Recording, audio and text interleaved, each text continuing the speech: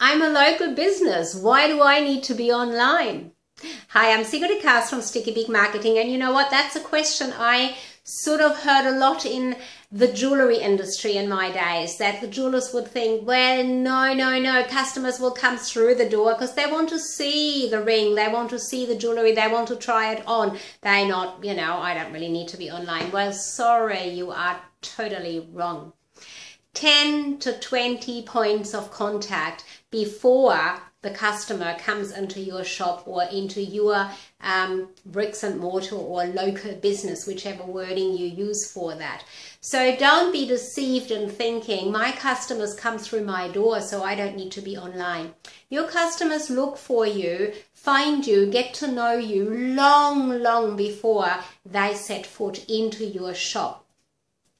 You need to make sure that you are visible and that you give your customers the best possible picture of yourself that you can. Show them you are knowledgeable. Put information out there on things that you know about, that you are the expert on, that you are the authority on.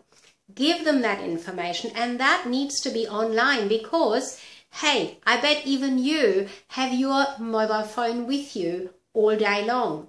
Even if you yourself might not be looking at all the time, your customers are. They are everywhere. And that's a great opportunity for you to be there too. So get online. Make sure you have a website, but not just a website.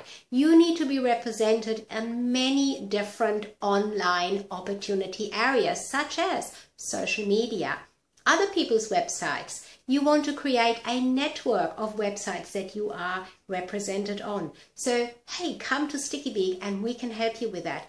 Local business, international business. You want to be represented online, anywhere, anytime for your customers.